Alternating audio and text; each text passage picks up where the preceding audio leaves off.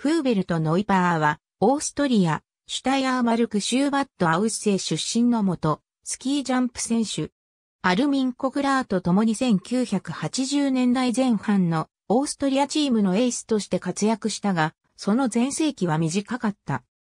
19歳で臨んだ1979から1980シーズンで1歳年長のコグラーを抑えて、ワールドカップ総合優勝を果たしたが、翌シーズン以降は、コグラーが王者に輝き、ノイパーは国内でも世界でも2番手に甘んじた。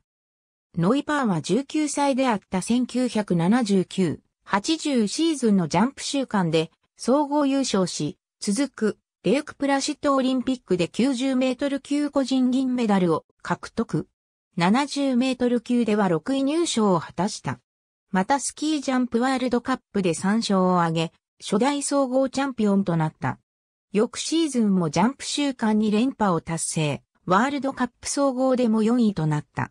さらに1981、82シーズンもワールドカップ総合で2位となり、ノルディックスキー世界選手権では団体戦で銀メダルを獲得した。しかし、このシーズンを最後にご成績は急降下する。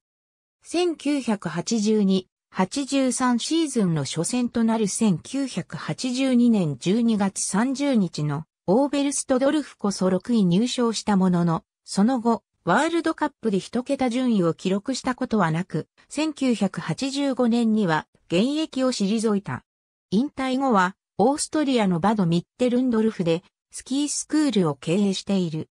1984年に結婚、娘が二人いる。2003年にフラッテラインというタイトルの自助伝を出版した。ありがとうございます。